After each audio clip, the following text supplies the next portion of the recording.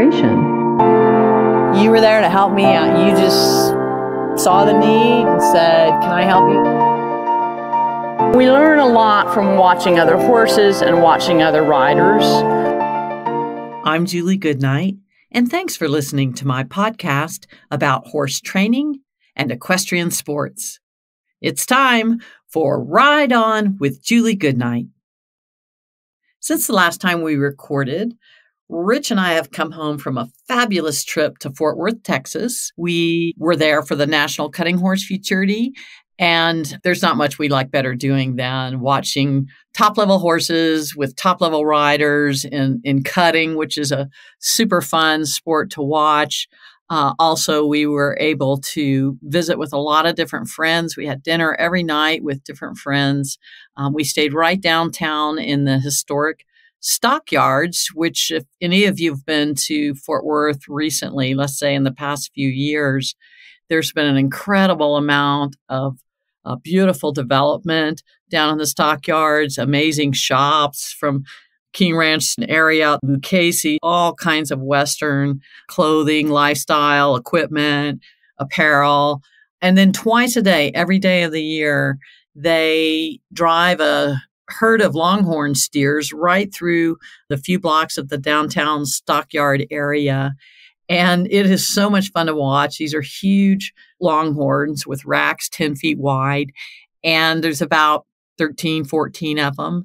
And this is a program that is managed by some real good friends of mine, Kristen and Marty. And they, along with about a dozen riders and horses. They they manage this herd twice a day, every day through through the downtown with tourists lining each side, and balloons and strollers and and the like. And uh, I had a fun time actually doing an impromptu clinic with uh, the drovers and their horses. They, you know, every day there's new challenges when they do these drives downtown with the Longhorn from from construction and road blockage, which you know the Longhorns don't necessarily subscribe to the little uh, you know stick blockades in the way of their path. They don't read road closure signs, so that can be a challenge. And then drones flying at you, drones crashing in front of you, people stepping in front of uh, you know, a 1500 pound longhorn steer just to get a picture or something. You never know what's going to come through there. And these horses have to deal with all of that. And so we did a fun despooking clinic and, and worked on managing the horses in, in times that uh, were frightening to the horses.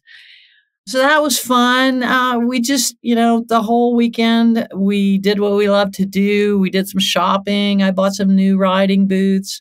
It was good fun, good friends, uh, good food and drink. Um, also, bonus, I got to pay a visit to Pepperoni, my uh, my young uh, horse that lives down there in the Dallas area with my friend Nancy now.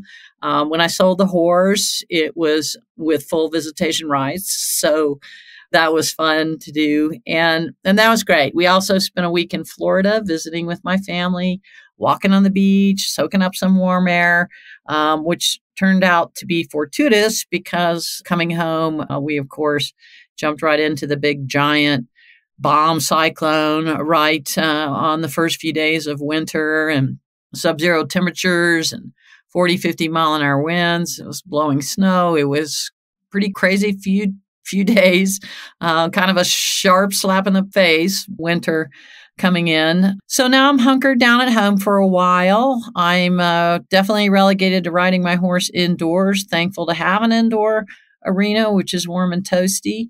And I'm spending a lot of time at my desk planning all my adventures for next year. I was super excited and, and very honored that this very podcast you're listening to received the 2022 Equus Film and Arts Festival Winnie Award for my episode called Reading Horses Interpreting Emotional and Communicative Behavior. That episode, by the way, first aired in September 2021. So if you haven't listened to it yet, be sure to check it out. I've just released my 2023 travel schedule. I'm super excited about all the adventures I'm going on next year. I've got a full slate of clinics, horse expos, riding retreats, and vacations. with multiple events in Colorado. Plus, I'll be in Iowa, Ohio, Massachusetts, Texas, and yes, I'm going back to Ireland in 2023. For details on my event schedule, please visit juliegoodnight.com slash events. And be sure to sign up for my weekly newsletter while you're there at juliegoodnight.com slash news and get the latest updates from me. You can also find me on Facebook, Instagram, Twitter, and YouTube at Julie Goodnight. Check out my online training resources, memberships, and personalized coaching programs. Plus, find tack bits, training equipment, and videos at shop.juliegoodnight.com.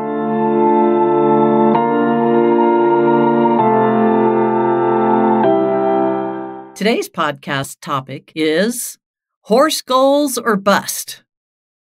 You know, I love New Year's and everything it represents from ushering out the old to bringing in the new. Uh, I'm actually not much of a New Year's Eve partier. I'll probably be in bed by 8:30, but I am at a stage of life where each and every year is precious to me and making the most of my life takes on an even greater significance. You know, I've actually always been very serious about planning my time and making New Year's resolutions. I'm a little bit of a list maker in that way. This year, in my goal setting process, I'm going to bring you along with me. Next month, we're starting a brand new nine month roadmap to help riders everywhere achieve, accomplish, and soar in their horsemanship. We call it Horse Goals or Bust. I'll help you set meaningful horsemanship goals. We'll assess both you and your horse and come up with some realistic training and conditioning plans.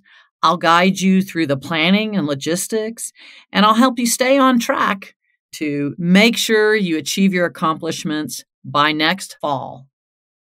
In this episode of my podcast, I want to talk to you about making some big dreams, scheming hard, imagining your best horse life. I'm going to guide you through some reflections on the year behind us and how we're going to envision an amazing future We'll work on crafting some meaningful goals, and those goals are going to fuel your plan of action. Plus, in the What the Hay segment at the end of this show, I'll answer questions from listeners about a green rider on a green horse, always an interesting combination. We'll talk about a bolting Mustang and a Standardbred who's a bit oversensitive to touch. Accomplishments and achievements always start with a dream or a vision, but they only become real when you set goals, develop a workable plan, and then commit yourself to action. Obviously, we're talking about horses here. That's my wheelhouse. But in reality, this process and mindset could apply to any endeavor in your life, from losing weight to saving money to eating healthier. Maybe you have a business goal or a professional goal in mind. Whether your goals are big or small doesn't really matter. It could be to win a national championship with your horse, or maybe to enter just one class at a local horse show.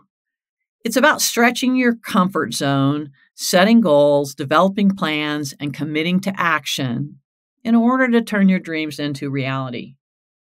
But before you set goals, you really need to imagine your best life. Goals require some forethought.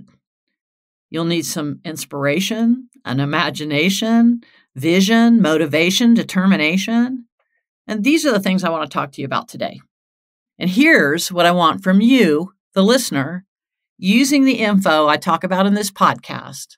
I want you to brainstorm about your goals and then put pen to paper, unless you're driving right now, in which case you should definitely keep both hands on the wheel. I hope my sister's listening to that. I'd like for you to message me with your questions, comments, and a rough idea of your goals. And I'd like to pick a few real situations from our listeners and share them on the podcast next month. There's an outline in the show notes for this episode highlighting all the info on goal setting that I'm about to talk about. And that will guide you in your brainstorming session and help you formulate your own personal vision. Now let's get started. Step one we need to reflect on the year behind us. This is a constructive assessment about the year that's behind us and what we accomplished. This time of year, I think it's important to take the time to pause and reflect. Allow your mind, your body, and your emotions to settle. Then take a deep breath and reflect on your horse activities for the year that's coming to a close. You know, I keep a 12 month printed calendar on my desk all the time. I've got two one for the year that's closing and one for the year that's ahead of me. They're marked up with several different highlighter colors uh, showing all my planned trips, business trips, recreational trips, and the like, all my trips for the year on one piece of paper. It really helps me visualize and quantify my time and I think it's important to look at the time I've already spent and see how I spent it and, and kind of tally that up. So, in reflection, how did you spend your horse life this year? Here's the first question I want you to ask yourself What progress did you make with your horse? You know, get out a piece of scratch paper and make a list. But make a list of everything you did. You know, I got my horse alone in the trailer. I got a, I, you know, went on a trail ride with friends or whatever everything you did with your horse in the past year you know not every 5 minutes you spent with him but everything that you think was an accomplishment whether it's finally getting your horse to canter around the arena on the correct lead or going to a national horse show doesn't matter just make a list when you make that list and you look back over the whole year you may be surprised at all the stuff you did accomplish so make that list for me. That's going to be the first question. And then the next question you want to ask yourself is what progress did you make in your personal horsemanship? And we could be talking about skills, individual mechanical skills. I learned to stop without pulling on the reins. I learned to turn my horse without pulling on the reins. I learned to sustain the canter, collect the canter, uh, cross a creek, whatever. What actual skills did you accomplish in your personal horsemanship, not so much the horse? And how did your confidence level change? Have you experienced an increase in confidence or a decrease in confidence? And, you know, of course, if it's an increase in confidence, pat yourself on the back and reflect upon the journey it took to get there, the time and commitment and thought you had to put in to getting there. If you've experienced a decrease in confidence, well, it's important to think about why that is too. And let's figure out a way to reset our goals and our program and process for next year in a manner that builds confidence for you and your horse as well.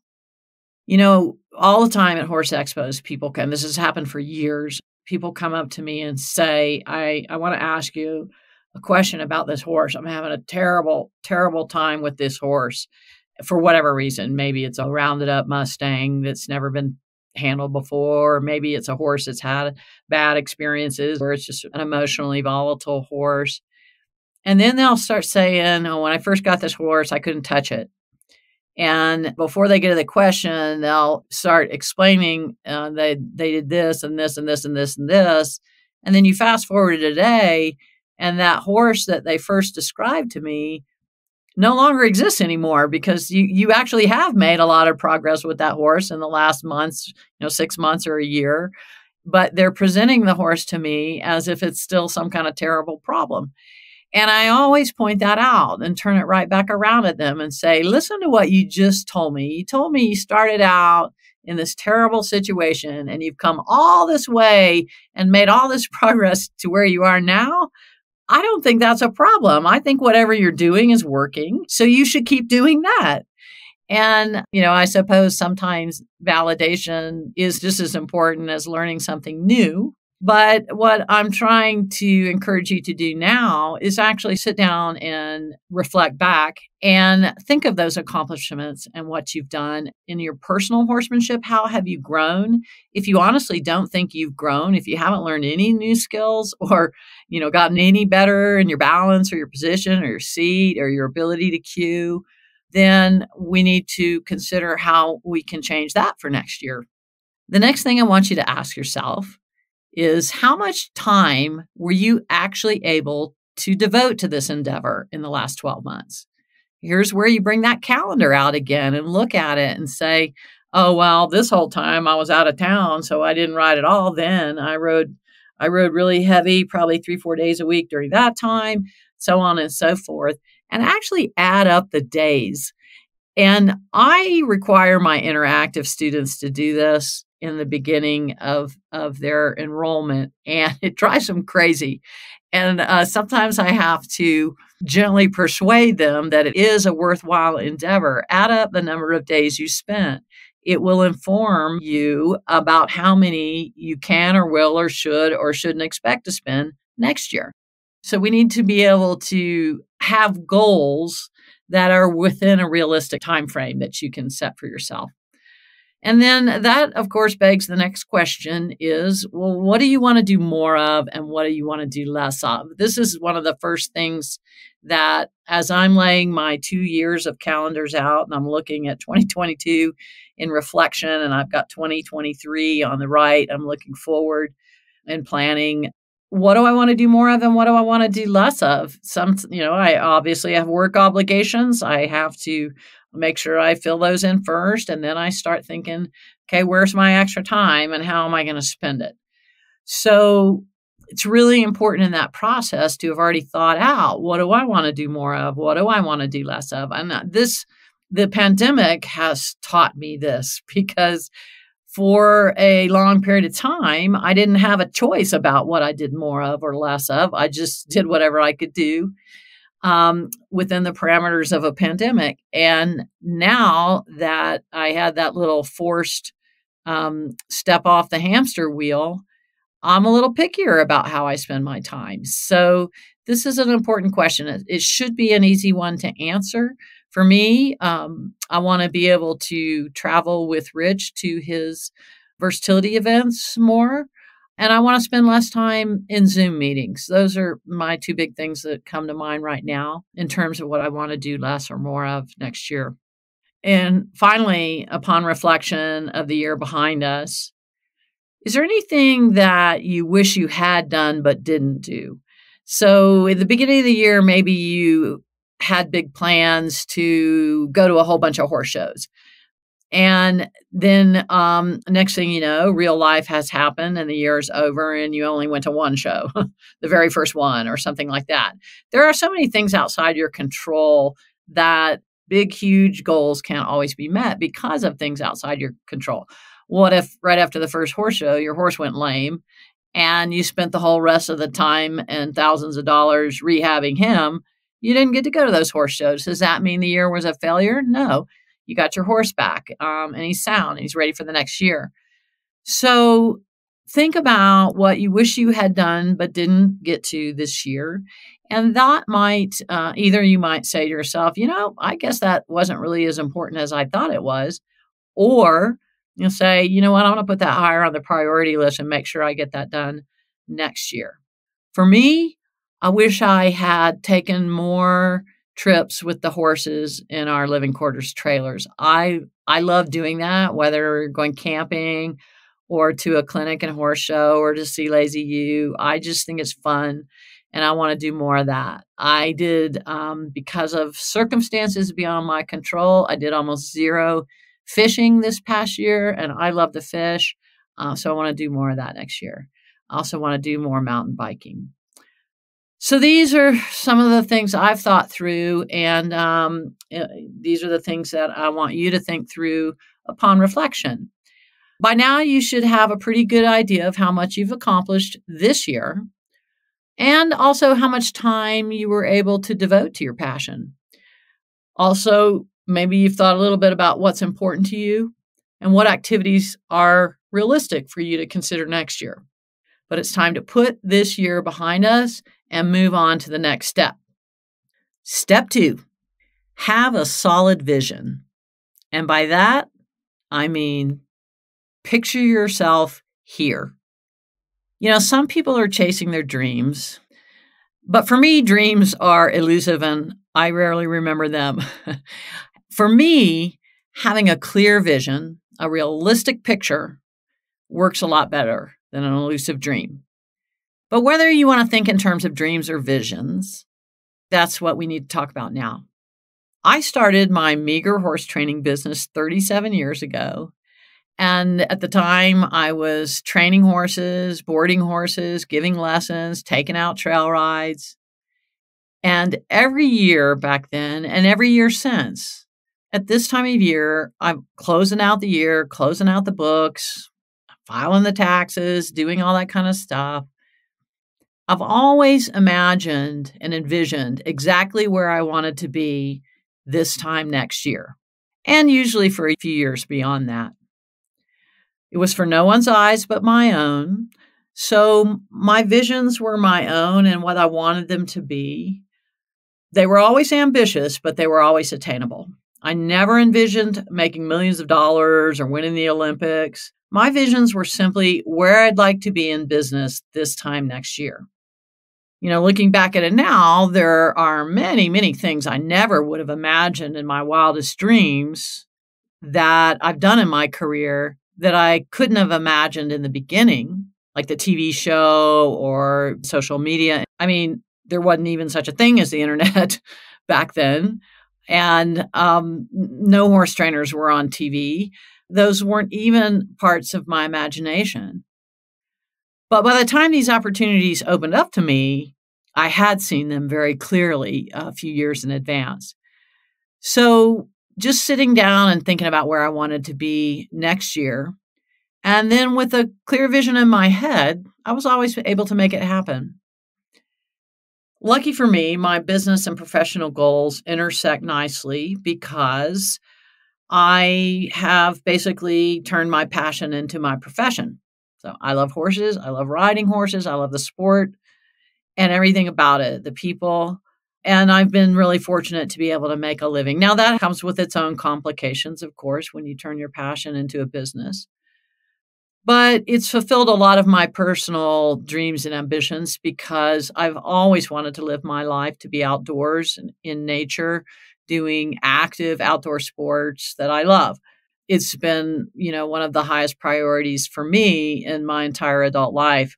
I chose my career based on having a great work life balance and living in great places where that that's easy to do.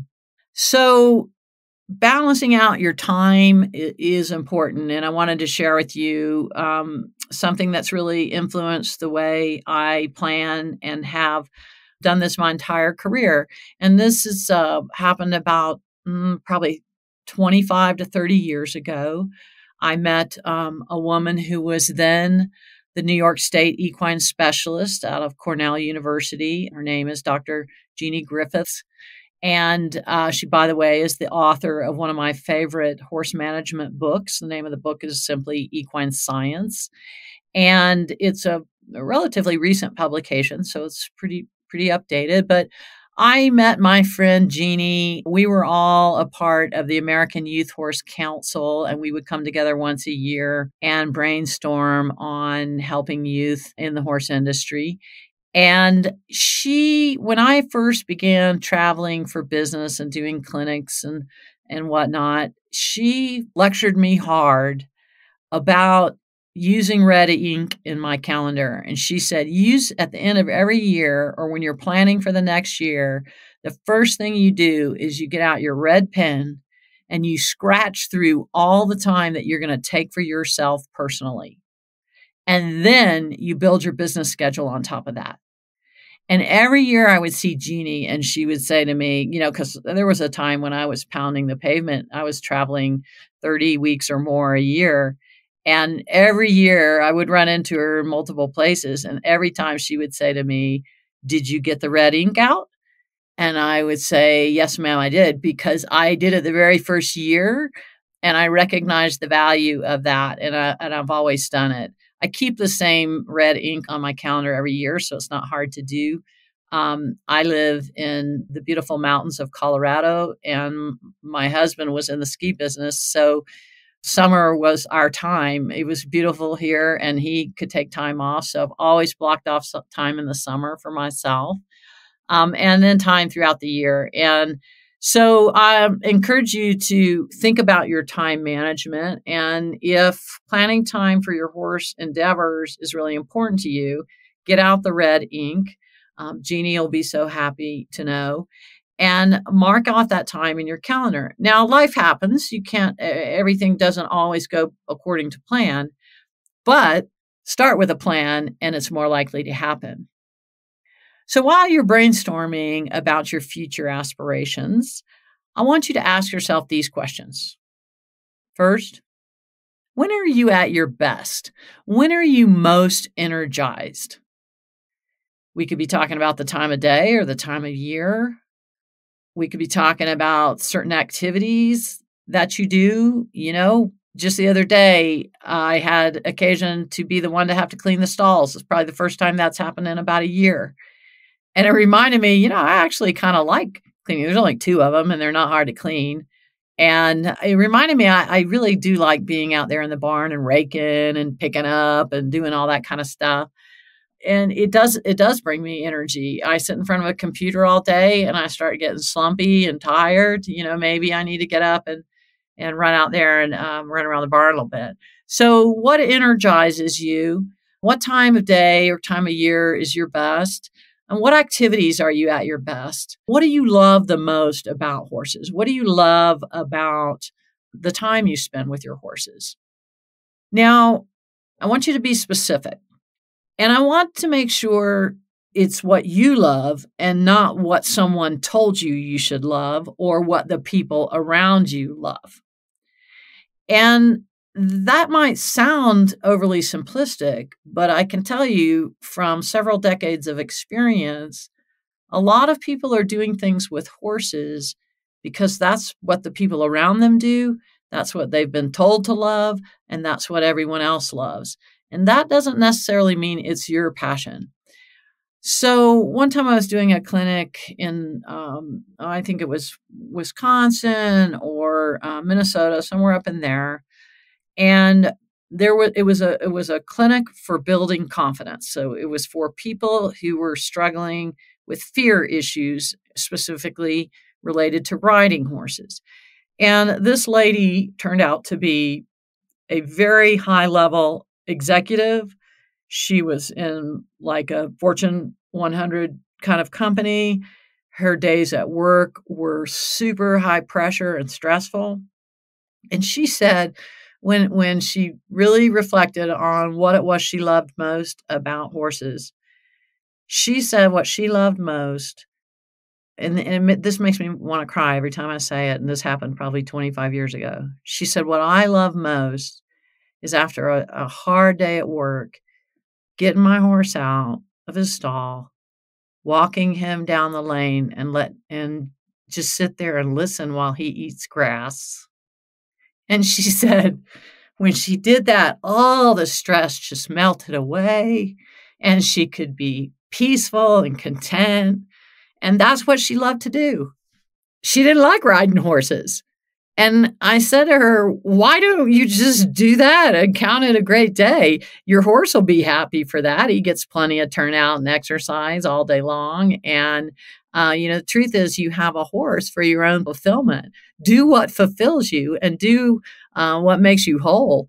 And um, the people around her were saying, You got to ride, you ride, ride, you got to get on that horse, you got to get on that horse, you shouldn't be afraid of that horse. And that was just creating pressure for her when the one thing she really needed the most was a release from pressure. And her horse was perfectly capable of giving her that. So when I say, what do you love most about horses or riding horses? I think you need to really do some introspection there and make sure it's something that's truly coming from you because what you're actually doing right now might not be what you love most. And you want to make sure those things coincide. The next question you want to ask yourself is What are my hopes and aspirations? In my wildest dreams, what do I think I want to be able to accomplish with my horse? Do I want to, you know, I'd like to do a 100 mile endurance ride. That would be a super big deal. And I'm not saying that for myself because to me that would be punishment. But I have several friends who, for years, they had the goal of completing a 100 mile ride.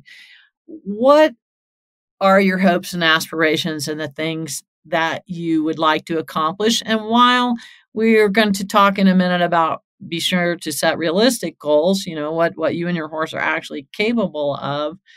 You know, just this is just between you yourself and you. So go ahead and dream big. Try to picture yourself in that place. Picture yourself here. Where's here? And jot down those hopes and aspirations. You can always go back and scratch through them and throw a, a wad up the piece of paper and throw it away. But you might find some visions there that are actually helpful for the years ahead of you. Finally, before we leave this section of envisioning your goals and aspirations, there's two important philosophical questions to answer. And the first is what personal values guide you in this endeavor? What are the things that are super important to you in your own personal values that are important to carry through in this endeavor whether that is you know family time the types of interactions that you have with people and horses is helping others a part of this mission what personal values are important to you to bring to the table and maybe maybe there's nothing that's you know needs some crazy deep thought here uh, but it's something that you always want to make sure any goals you set do not stretch your values at all that are in keeping with what makes you feel good about yourself. And then finally, and this is a big one, you're going to ask yourself, what is my purpose in this endeavor? Why am I doing this? And that may sound like a simple question, but it is absolutely not. It's one that will require a lot of introspection. And you want to, again, make sure that you answer this question honestly from yourself and not from what others think you should do. Not your spouse, not your children, not your friends, not your trainer. What is your purpose in being involved in this horse endeavor? And this is a really important thing because it will not only guide your goal setting, but it, it will also give you confidence and courage at the times you need it to make a commitment to this achievement. So, what I would like you to do is actually write down a personal purpose statement. My purpose in the horse endeavor blank is blank.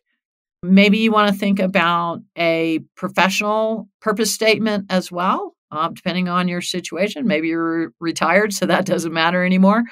But uh, write a personal purpose statement and uh, one that is specific to horses as well. Why, why are you doing this? So, the answers to these questions should be foremost in your mind as you start planning your goals. Knowing where you're coming from is important. What ideals you bring to the table, those are important. And also thinking about what makes you happy. These will make the goals you set more meaningful and therefore more likely to happen. So now the serious work begins. Step three formulating your goals.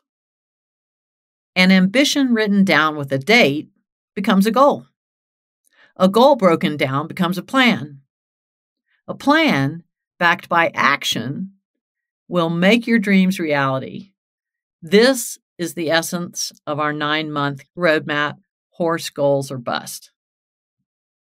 I want to tell you a little story about my interactive coaching members. Now, these are people I interact with on a regular basis and help guide them in their horse experience. Um, maybe they have a new horse, maybe they've got a big goal, maybe they're just trying to build more confidence and learn more about horses and riding. Everybody's kind of at a different level and pace. But one of the very first things you have to do in my program is fill out an extensive questionnaire first about you and your personal journey with horses how how long you've been doing this what kind of experience you have you know what kind of issues you're dealing with uh, where you would like to improve and then all of that about your horse. You know, how old is he? What's his history? What kind of training? What are you going to do with him? Do you have a competitive goals? Do you work with a trainer? It's a pretty extensive questionnaire. And the reason why it's the first thing you do is because it basically introduces yourself and your horse to me as if you were in the arena with me. Is all the stuff I would be looking for or asking questions about if I were in the arena with you. So after all of that, I then ask you to state three horsemanship goals to work on in this upcoming year. And the answers are truly revealing. And usually by the time I've read all that, I have a really good idea of what the goals should be because where you've discussed this kind of problem, I have a pretty good idea. It's related to something else, and you need to work on this and all. I mean, that's what I do for a living. So it always surprises me when people write goals. First of all, people write extremely ambiguous statements like build more confidence. That is not a goal, that is a state of mind. And uh, we'll talk about this in a minute, but it's it's very difficult to hang your hat on that. Uh, it's a moving target. Or the goals they write down could have absolutely nothing to do with the actual issues that I just spent 20 minutes reading about on this form you filled out. So, in most instances, I try to restate their goals in in ways that make them definable and measurable and all those important things that goals should be. So to formulate meaningful goals that will fuel your action plan, you'll need to put some focus onto it. In particular, I want you to focus on these four important qualities of good goal setting. Number one, your goal needs to be definable. It needs to state something so clearly that anyone you say it to would fully understand what it meant. As I said a minute ago, have more confidence is not a goal, it's a state of mind. If your lack of confidence had to do with maybe cantering your horse, then perhaps a good goal will be to be able to canter my horse multiple times around the arena in control of its speed and direction and without breaking gait.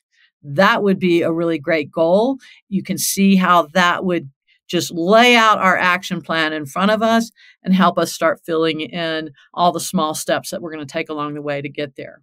So make sure your goal is stated in a way that's very clear, black and white. Anybody reading it or listening to it could understand exactly what it means. Make sure all the terms are definable. Secondly, a goal has to be measurable, has to be quantifiable. So, for instance, maybe I have a goal to take three overnight camping trips with my horse before September 2023. That's a quantifiable goal. Maybe I got partway, a third of the way through my goal. Maybe I, you know, made 125% of my goal. I don't know. So it, it needs to be measurable and clear. And while we're talking about measuring goals and defining these goals, how important that is, let me also get a little bit into the weeds on different types of goals. What we're talking about right now are outcome goals big, you know, sort of year end markers of where I want to be next year, the big picture. Always, this is about metrics, about measuring. Did you accomplish it or not? Did you accomplish it halfway or none? Things have to be quantifiable in outcome goals. The ability to quantify is important, but outcome goals, big goals like this, are not always directly controllable by you. As I was talking about earlier, uh, outside influences can happen, such as uh, your horse goes lame after the first horse show. Okay, well, go, let's go to plan B because you're not going to the second horse show. So sometimes big outcome goals are not always completely controllable by you, um, but they are um, a big picture, measurable event. Um, and the importance of outcome goals are that the big goals in the end are what allow us to step back and then build a, a staircase, a stepping stone plan um, that leads us to the outcome goals. And along the way, we are going to be accomplishing just dozens and dozens of smaller performance goals and these are small steps or small accomplishments along the way that will get you there. These performance goals, by the way, are entirely controllable by you, but they may not be measurable. In other words, maybe you've determined that one of your really important goals at work is to make sure that you uh, bring a positive attitude to the office every single morning. And that might not be something that's entirely measurable. In other words, some mornings you might be peppier than others. Um, but you'll know if you're doing it every morning because you'll say, remind yourself, I have this goal. Oh, yeah, put a smile on my face. Hello, everybody. Call everybody by name, whatever the particular performance goal is. Um, so these are small steps, small accomplishments along the way. We're going to talk a lot about them over the coming months. That's going to be, in fact, the entire focus. Once we get these big outcome goals set um, and defined and, and well stated, then we start putting together all the minutia, all the tiny little steps, all the small little performance goals along the way that are going to get us there. So, the third of the four important qualities of um, setting goals is to be realistic about your goals. What is within your purview? What is w- within your resources? What is within your horse's capability? Um, so, we want to make sure that we, just like in training horses, as far as I'm concerned anyway, whenever I'm training a horse to do something, I always want to set him up for success. I'm always hoping and praying he'll get the answer right the very first time. And I will do everything I can to set it up in his favor. I'll, you know, make sure it's at a point when he's listening. I'll make sure it's at a place in the arena where he's thinking about that thing.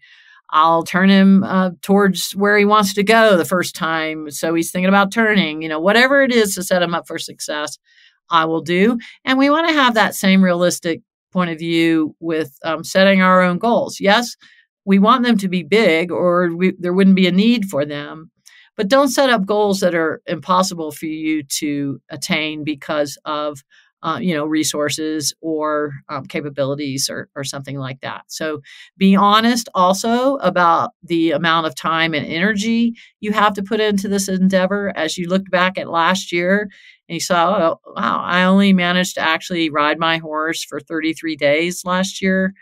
I'm realistically not going to have any more time than that next year. So, what can I realistically accomplish given that much time commitment? So, being realistic is important. And then, fourth and finally, in terms of getting down to the hard work of writing these goals down, make sure these goals are attainable you don't want to set goals that just cause nothing but frustration for you and your horse or for you and your life. Many of you may have become acquainted with my Facebook group called the Five Pound Challenge. It's been going on for years. And we all kind of come in and out of it as needed accordingly. But I very specifically didn't want to call that lose a 100 pound challenge because Nobody would think of that as an attainable goal. But even if you had a 100 pounds to lose, it's probably pretty attainable to lose five. And so the whole concept of the five pound challenge, when we started it, uh, my friends and I, um, years ago, and it's very same thing today, the whole point is to set attainable goals and to celebrate your success and, um, you know, go out and uh, buy yourself a new pair of shoes or whatever. And um, so that's kind of been the concept of the five pound challenge. But make sure your goals are attainable. Set set modest goals that just stretch you and grow you, but that you can achieve. Goals do not have to be huge. And, you know, many times with horses, we talk about slower is faster because that is so true. Uh, the more you take your time and are deliberate with horses, the better they learn. And keep in mind that no one else's opinion matters here. This is just an exercise you're doing, again, for you, yourself, and you. And you don't have to share it with anyone. Nobody else's opinion matters here. So think about all of these things that you want to be and what you can realistically accomplish. Stating your goals specifically with a clear definition, measurable outcomes, realistic and attainable. This is not going to be easy, but it's going to be very worthwhile. It is the framework on which you're going to build your entire year's plan on. So here's your homework download the outline from the show notes and spend some time in reflection and introspection. That's that's the hard work, the introspection. Then look at your accomplishments for the last year. Imagine your best self and your best horse life ahead of you. Dream big, but bring it back down to reality. Honestly, picture yourself here. Then properly state your goals so that you have a clear roadmap for success. Horse goals or bust. I'd love it if you'd share your goals with me. Just email me at podcast at juliegoodnight.com. And if you're game to let me share your story on the podcast, you can remain anonymous if you want. But if you're game, I'll help you shape your plan and chart the path forward on the next episode of my podcast.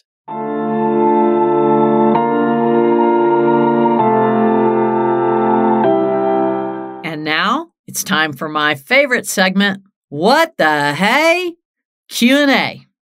Each month, we pick a few unique questions from our listeners and answer them on the air. If you'd like to submit a question for What the Hay, message me on Facebook at Julie Goodnight or email podcast at juliegoodnight.com. By the way, we keep all your questions in a queue dropping off only the ones I've already answered. So even if I haven't answered your question yet, I hope to get to it soon, or maybe I'll turn your question into the main topic for a future podcast. Question number one comes from Cindy on Facebook Messenger. Hi, Julie. I love your posts and everything you do. I stopped riding and owning horses 24 years ago. I'm 66 now and leased a horse for a couple of months before I bought my heart horse, a four year old quarter horse. I'm taking lessons and we are doing awesome with groundwork and arena work. My goal is to trail ride with him, but he is a beginner, and I'm a beginner again. He'd never been on the trails before, and he is so, so, so scared. I was thrown the other day because he bolted, so I have decided to take him to a professional trainer for three months. My question is Have you ever seen a positive outcome with two beginners together? Or am I dreaming? I love this horse so much and he wants to be with me all the time. Please let me know your thoughts. First of all, I'm glad to hear you sent the horse to a trainer.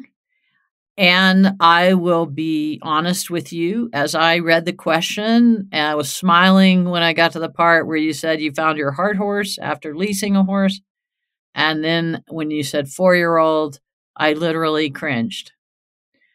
This is a scenario I've seen play out again and again and again. Every horse trainer has, including with my own friends and people I know right here in my neighborhood.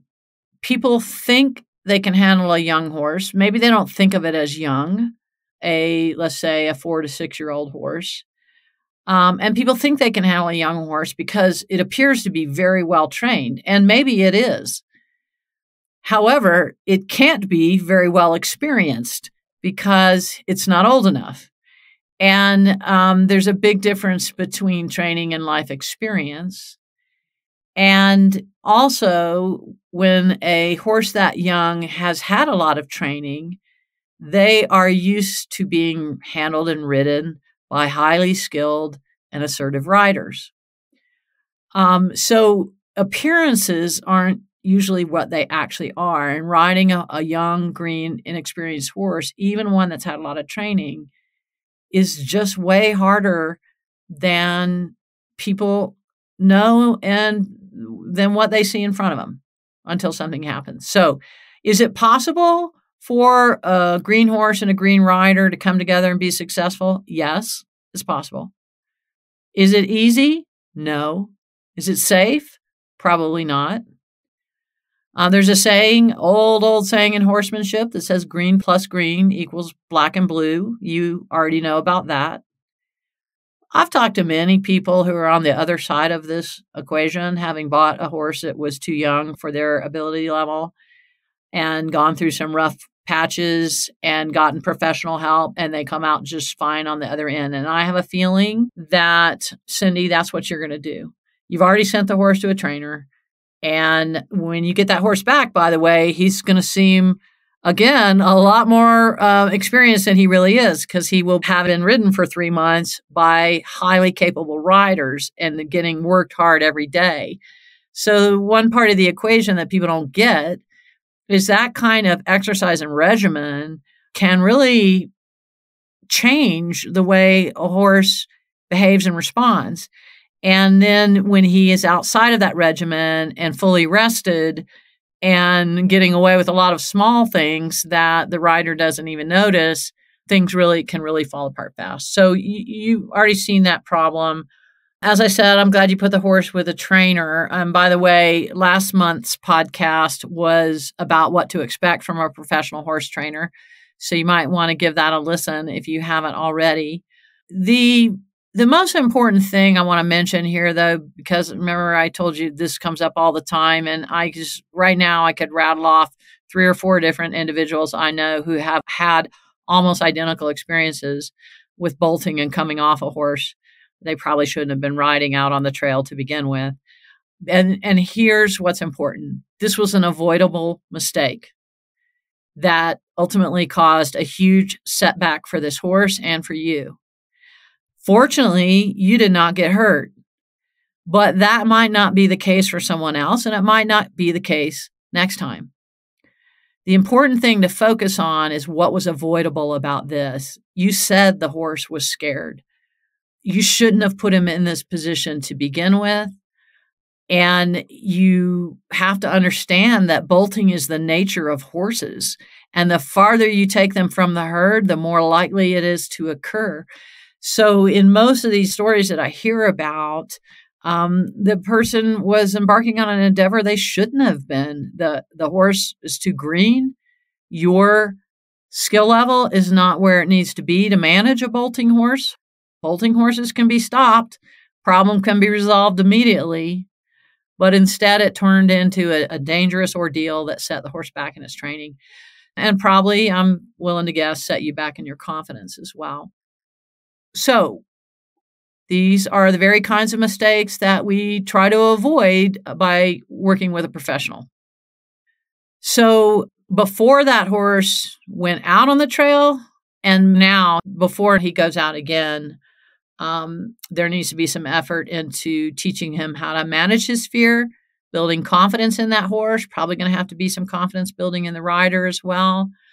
Uh, and then making sure you establish effective control first before you head back out again.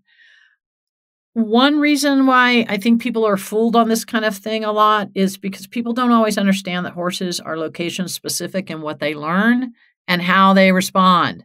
They aren't going to act the same way out there as they did here in the confinements of the arena at home. That's a given. So, amateur trainers often wrongly assume that because they have control of a horse in a confined and, and controlled environment and a known place like the arena or the round pen, that that same level of control and response will happen somewhere else. And it won't until the horse has much more experience. That's why we like to put very experienced riders on green horses. So it's good that you went to a trainer. Bolting behavior tends to repeat itself, particularly when a rider comes off and all of that. If it happened a second time, it could really permanently impact a horse's training in a negative way. In other words, if the horse bolted and got away from the rider, this becomes ingrained behavior rapidly. So, bolting is a very scary situation, even though it's normal for horses knowing how to avoid this situation to begin with, and also knowing how to shut down a bolting horse quickly is something that's important and it's something that requires skill and experience. There's a lot of information about the emergency stopping rein in my library on my website. You can go search the pulley rein and find out more. By the way, as a 66 year old novice, if you had come to me ahead of time and said, I'm thinking about buying a horse, what should I look for? I would have recommended looking at horses no younger than 10 years old. Older is fine, 10 to 15, go for it. You want something that is highly experienced and very set in his ways. Will you and your horse, Cindy, make it past this? Yes, I think you will. Absolutely. You're going to need that professional help probably for a few years to come. Advance that horse's training a little bit professionally every year. Enlist the help of a trainer. So anytime you have small problems, you get them sorted out. Um, you're going to need a hefty dose of courage and commitment and the good sense to avoid situations like that in the future. And then I think you and your horse are going to do just fine. Question number two comes from Kayla via Facebook Messenger. Hi, Julie. I really enjoy your podcasts and training videos. Thanks for making these available. I recently got a grade six or seven year old gelding. Two years ago, he was a feral stallion, and he has only been under saddle for about a year. I've been working on establishing a relationship with him, but we are still getting to know one another. He has a higher flight response than my other horse, and is more dominant too. A few days ago, he bolted unexpectedly and I fell off. I remounted and continued to trail ride without any further incident. My question is Was this the right move? When you fall off, do you just get back on and go about your business? Or is there something corrective I should have done? I thought maybe the moment for correction had passed by the time I caught him, and I didn't want him to think I was correcting him for letting me catch him. Thanks in advance for your help. Yes, Kayla, you're exactly right. The moment for any kind of correction was long gone um, by the time you came back to your horse. And the right move was absolutely to take a deep breath, calmly get back on and ride proactively and as normally as possible. Unless, of course, either you or your horse were injured in that fall, or either you or your horse were too emotionally wrought in that moment in order to continue. So you are exactly right. In this kind of situation, as with the previous question about the horse that bolted, there's no correction or punishment that would help. Remember, once three seconds go by, it's impossible for the horse to associate a correction or a reward with the behavior that just happened. So, to break it down, when a horse bolts and the rider falls off, and the horse runs until it stops, hopefully not all the way back to the barn. If you did something corrective when you got back to the horse, because of the time that elapsed, he would only be able to associate the correction with your approach. In his mind, it would have nothing to do with the bolting incident. So the moment for correction is long gone. The proper correction for the bolting horse would be to abruptly stop it, then make it turn and face what it was trying to get away from. There would never be any punishment or correction. It would just be stopping it and turning it back around. That's the correction.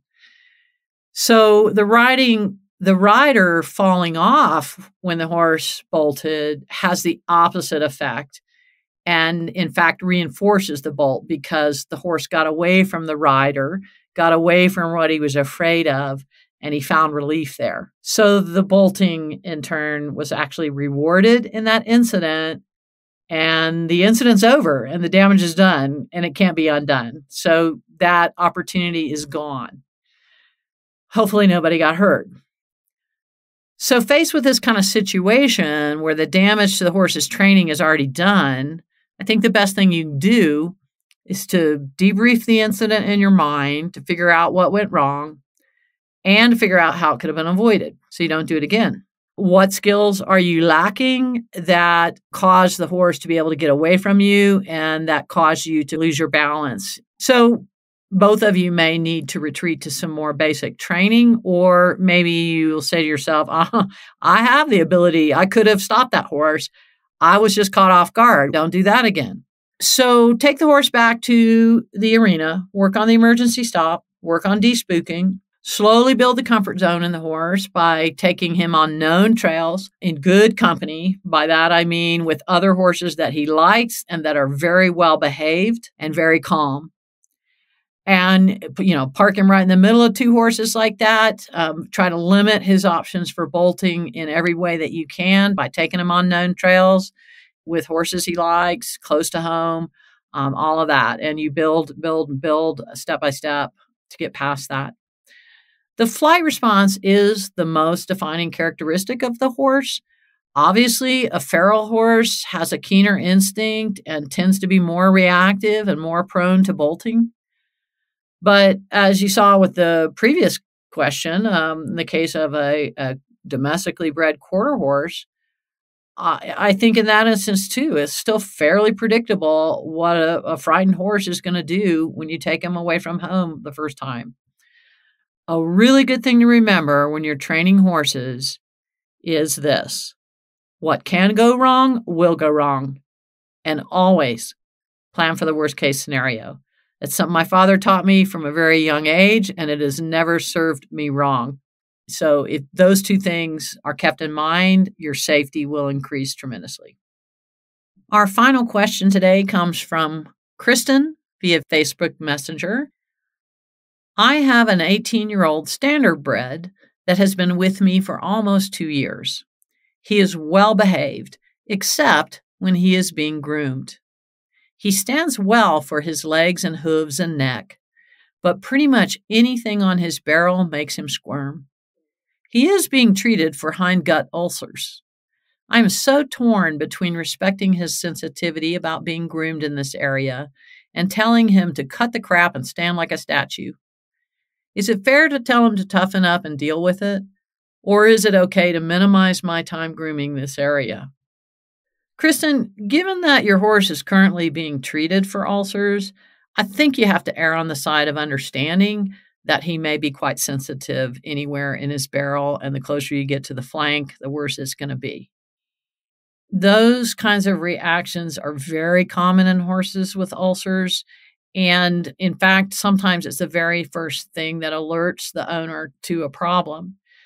So, whenever I'm evaluating a horse's behavior in order to understand the cause of the behavior, I try to look at how that one behavior fits in the overall picture of the horse's behavior.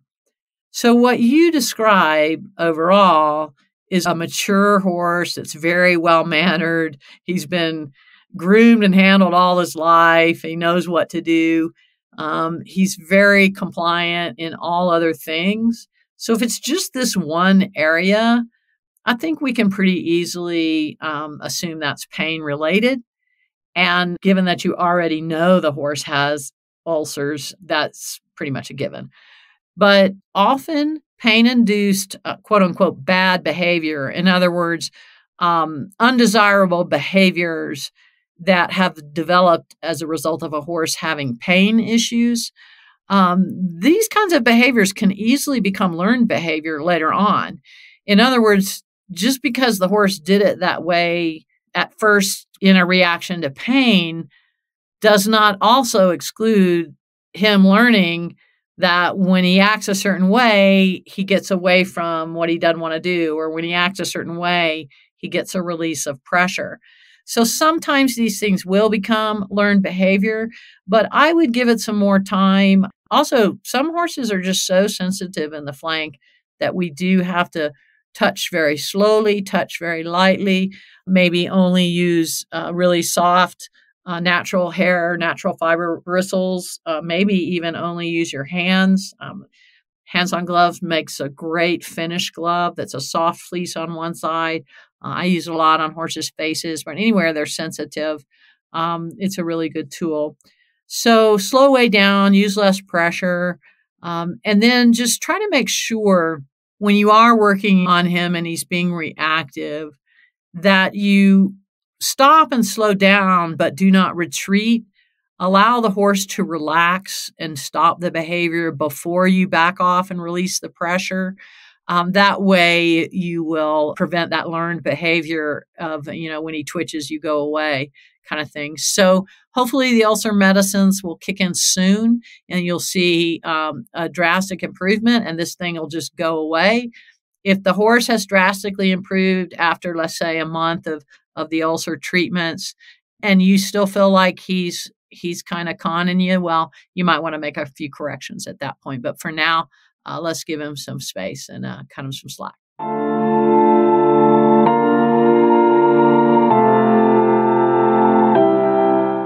Well, that's all the time we have for today.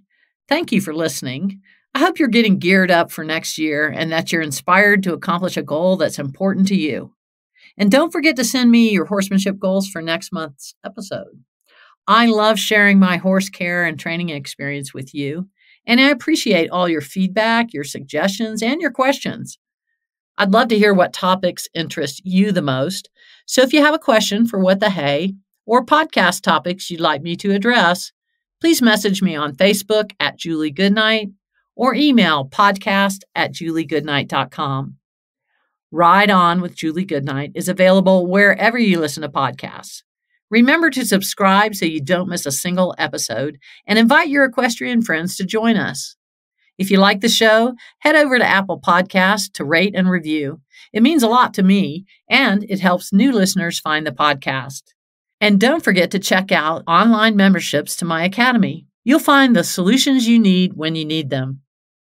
I have a monthly or yearly library membership, which gives you access to hundreds of videos, full episodes, audios, and articles on the topics you want to know more about. Or you can get online coaching from me with my Interactive Academy membership. I'll help you assess where you and your horse are now so you can move forward with a structured 12 month training plan and personalized coaching from me every step of the way. You can also enroll in my Build Your Confidence with Horses short course. Just go to juliegoodnight.com slash join and start your ride. Join me again next month for another episode of Ride On with Julie Goodnight. No matter where you are in your horsemanship journey, whether you're new to horses or an old hand, whether you're training a green horse or refining your upper level skills, I hope you found some helpful information here to make your horse life better. Thanks again for your insightful comments and for the five star ratings so that more horse lovers like you and me can find this podcast. I'm Julie Goodnight. Thank you for listening, and please stay safe and enjoy the ride.